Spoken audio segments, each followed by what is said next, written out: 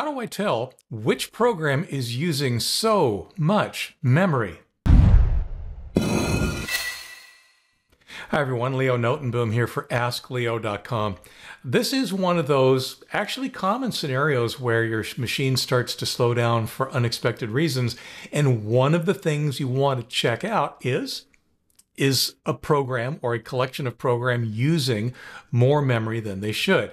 In the extreme case, Windows itself may even report that it is running low on memory. When that happens, of course, programs may misbehave, fail, or crash completely. And this is important because one of those programs is in fact Windows itself. So let's find out who the culprit is. Now, I want to be very clear up front. There is occasionally confusion between what we refer to as memory and disk. When I talk about memory, in fact, when most computer professionals talk about memory, they're talking about RAM. That's the memory that's inside your computer that holds the programs and your data as things are running. And that's the memory that gets erased when you turn off your machine. That is not disk. Disks are I guess, a kind of memory because they remember things, but that is not how we use the term. Memory is RAM and disks are disks.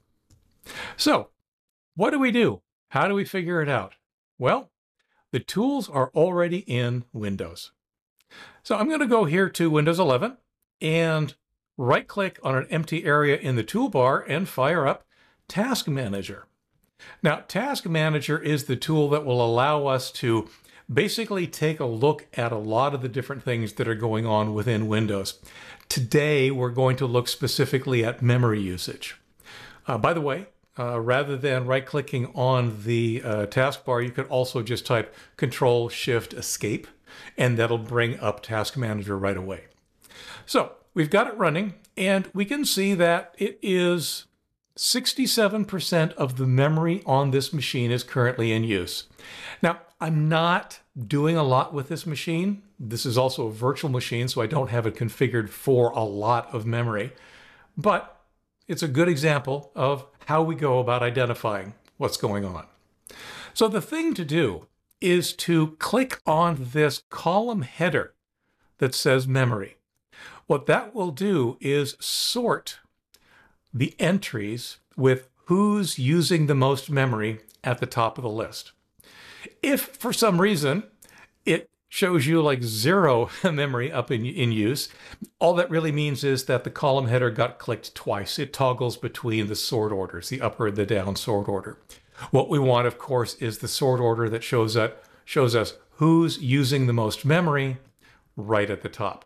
And indeed, in my case, that is anti-malware service executable, which you can guess is part of Windows security. Now, one of the ways you can get a little bit more detail on some of these things, when they have one of these arrows to their left, you can click on it and that will give you a little bit more information. In this case, it's even clearer, Microsoft Defender Antivirus. That's what's using 126-ish megabytes of memory on this machine. There's another tab to look at that also gives us the information about who's using memory. This, what we're looking at right now, is essentially programs by name. In other words, these are what you and I would call the programs. Um, Anti-malware service executable, fine. We may not actually call it that, but Windows Defender, Windows Security, um, and so on. Microsoft Edge, for example, Task Manager itself, and so on. However, if we take a look at the Details tab, now we have a longer list of all of the processes that are running on your machine without any kind of organization other than the column sort, the header sort. So right now, we are actually, again, sorted by who's using the most memory at the top. This time it's msmpeng.exe, which is anti-malware service executable. Service host, it's doing something. We don't know which. Service host is one of those programs that gets used for a lot of different things. Memfile services, Task Manager itself, again, the desktop window manager, DWM, Microsoft Edge, which you'll notice I'm not running Edge. It's not open, and yet it is still here using up some amount of memory. And finally, one of the useful tabs to understand what's happening to your machine, but without actually identifying who's doing it, is this Performance tab. Because here you can click on these various items, but if you click on memory, you can see not only how much memory on your machine is being used, but you can see if it's trending up or down. Right now, we're looking at a pretty flat line because I'm not doing that much with this machine. But if, for example, there's a program running and it is continually using more and more and more memory, then you'll see this memory line essentially trending up until it hits the top. Okay, so what do you do if you run out of memory? Running low or out of memory can happen for so many reasons, it's impossible to really give you a simple answer for what to do when it happens.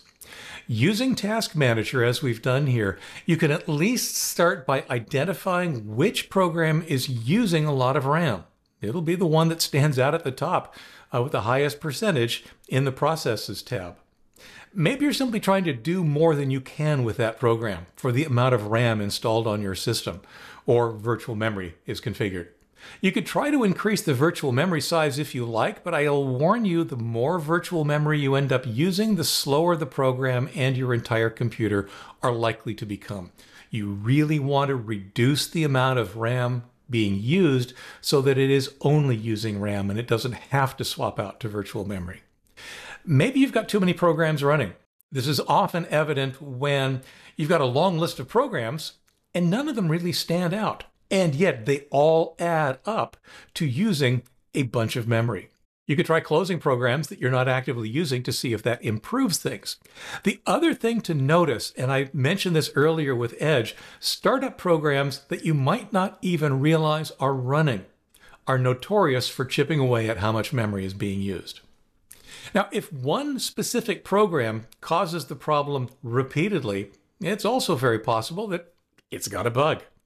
What's called a memory leak happens when a program loses track of the memory that it's using, and it keeps using more and more and more as a result, even though it really shouldn't need to. Make sure you're running the latest version of any programs you find at the top of this high memory usage list. But the bottom line here is that while we can often identify which program might be using excessive amounts of RAM, that's simply the starting point for your research to figure out why and what, if anything, can be done about it. Now, in the past, I have also recommended a program called Process Explorer. It's a free download from Microsoft. It comes now with the sysinternal tools you can install from the Microsoft Store.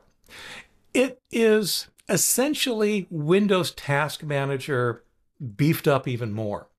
Fortunately, Windows Task Manager now has a lot of functionality that you may not necessarily need Process Explorer. However, Process Explorer is still a very powerful and somewhat geeky tool.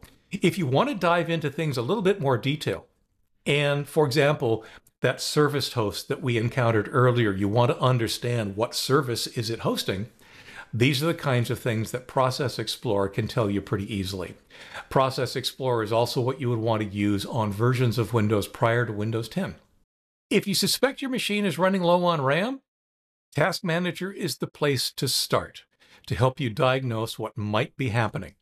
Based on what you find, you may identify and perhaps even resolve the issue. For updates, for comments, for links related to this topic and more, visit askleo.com slash 21339.